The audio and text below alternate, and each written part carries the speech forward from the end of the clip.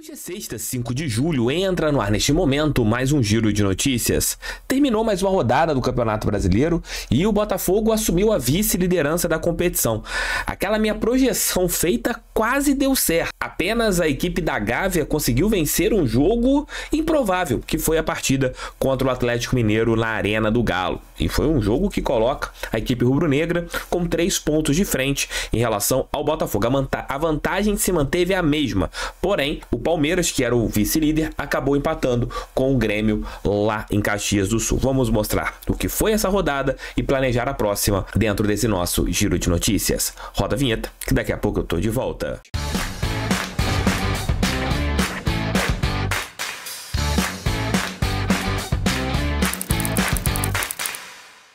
Galera, a Golcase sempre com capinhas interessantes em relação ao nosso Botafogo. Veja essa aqui, essas aqui, ó, dessa linha, que é uma linha diferente, né, do nosso clube, capinhas originais, são licenciadas e produtos da Golcase. E você se comprar duas, ganha mais duas. Então você tem vários itens bem bacanas do nosso clube. Tem copinhos, olha esse copinho aqui térmico que eu sempre uso, tá aqui sempre no meu estúdio para beber água sempre geladinha. Então vocês encontram vários produtos bem bacanas. Tá chegando o Dia dos Pais é um presente muito interessante para você dar para o seu papai. De repente você, mamãe, tá vendo aqui o vídeo, quer dar um presente para o seu marido, para o seu papai. Você pode achar aqui vários itens bem legais do Glorioso.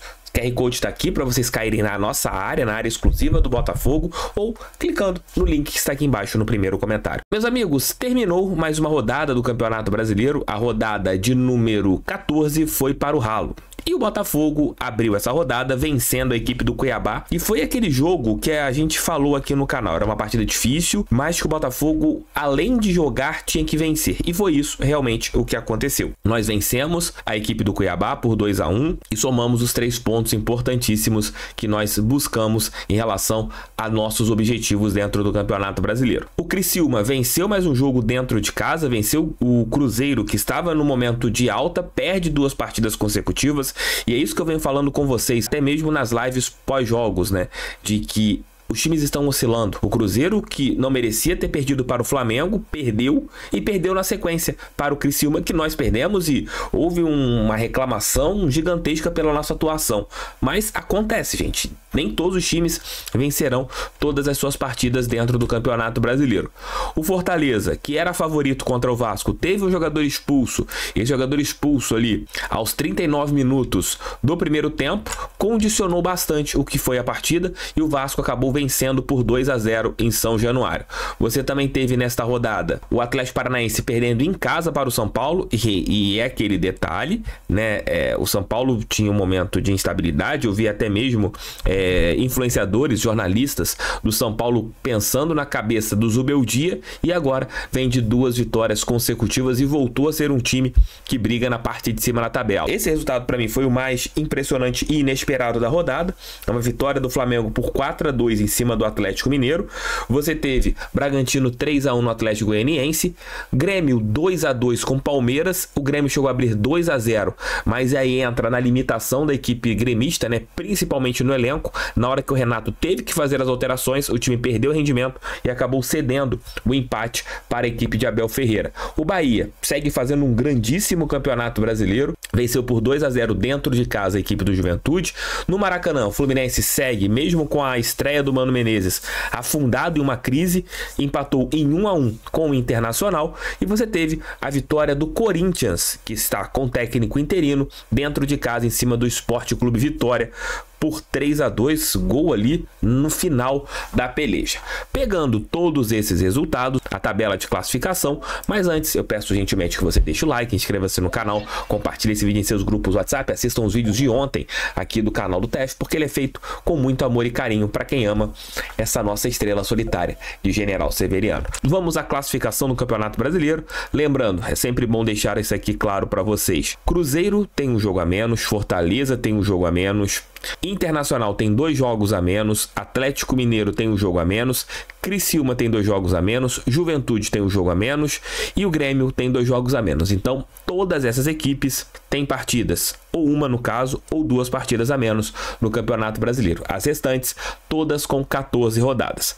O Flamengo é o líder do brasileiro com 30 pontos. Na segunda posição estamos nós, o Botafogo chega à segunda posição com 27 pontos. Em terceiro, o Palmeiras com 27. Na quarta posição, o Bahia com 27. Em quinto, o São Paulo com 24. O São Paulo com três vitórias consecutivas. Paulo que já estava ali balançando em relação ao Zubeldia deu uma arrancada e entrou G6 do Campeonato Brasileiro. O Atlético Paranaense com 22 pontos. Na sétima posição, o Bragantino com 22. Na oitava, o Cruzeiro, que se você pega aqui das últimas quatro partidas, perdeu três.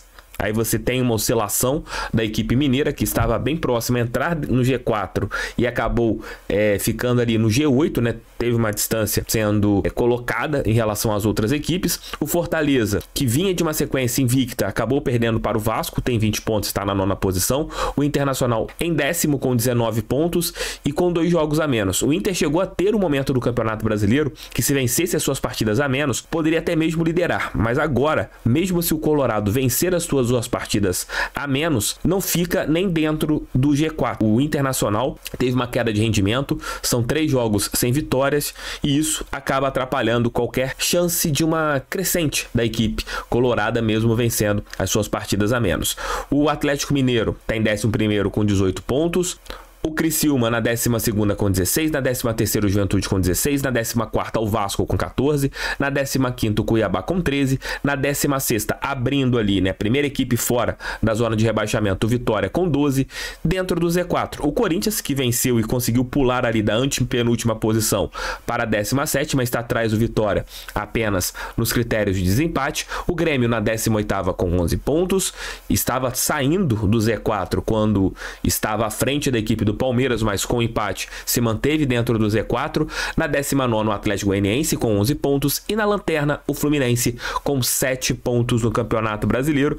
Depois de um longo e tenebroso inverno, a equipe das Laranjeiras somou um ponto na competição. Pegando tudo isso aqui, vamos analisar a próxima rodada. Vamos lá, 15ª rodada. Bragantino e São Paulo, aliás, São Paulo e Bragantino, jogo no Morumbi, amanhã às 20 horas. No mesmo horário, Flamengo e Cuiabá. Domingo, 16 horas, Fortaleza e Fluminense. Fluminense, Juventude Grêmio, Cruzeiro e Corinthians, Internacional e Vasco da Gama, Vitória e Criciúma, Atlético Goianiense e Atlético Paranaense e os dois jogos que fecharão a rodada. Palmeiras e Bahia e Botafogo e Atlético Mineiro. Entenderam o que eu quis dizer? Se o Botafogo vencer, chegará a 30 pontos. Tomara que o Flamengo tropece para o Cuiabá dentro do Maracanã e é, talvez seja o jogo até que o Cuiabá ele tenha a, aquilo que eles mais gostam, né? Uma transição, é, toda essa possibilidade, mas é difícil que a equipe rubro-negra não vença seu jogo. E você terá um confronto direto ali entre Bahia e Palmeiras, né? no caso Palmeiras e Bahia, porque esse jogo será no Allianz. O Palmeiras dentro do Allianz é favorito. Pegando a lógica, eu acredito que nós tenhamos totais condições de vencer o Atlético Mineiro, com todo respeito ao Galo. Então o Botafogo chegaria a 30 pontos. Eu acredito que o Palmeiras vença ao Bahia, também chegaria a 30 pontos e o Flamengo chegaria a 33 pontos. Eu acredito que este seja o cenário após as partidas da 15ª rodada.